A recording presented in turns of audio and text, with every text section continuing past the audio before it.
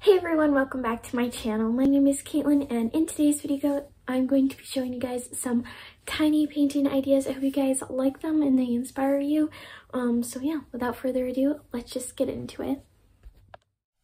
Okay, you guys, so as you can see, this canvas is very, very, very small. It is 2 by 3 inches, and I'm going to show you guys a close-up here. And yeah, so let's just get right into it. So I started out with this Christmassy green color. Later on, I did add some blue to it.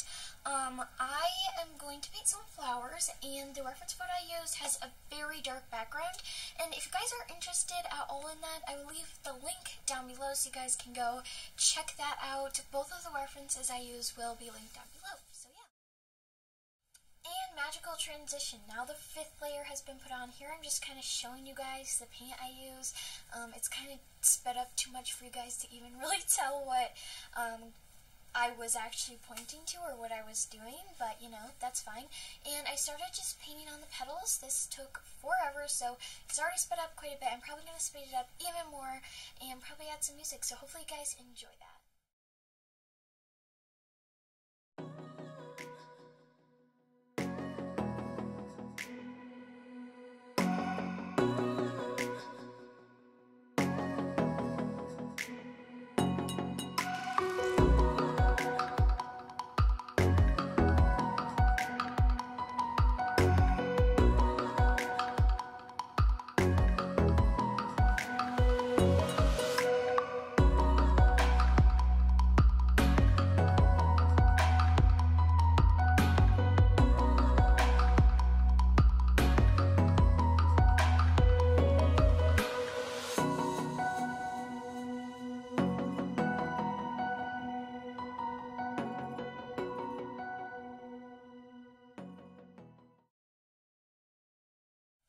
So as you can see, I have added quite a bit. Um, I tried to do a lot of shading and highlighting, and also I added some flower buds and stems and leaves, so hopefully you guys like it.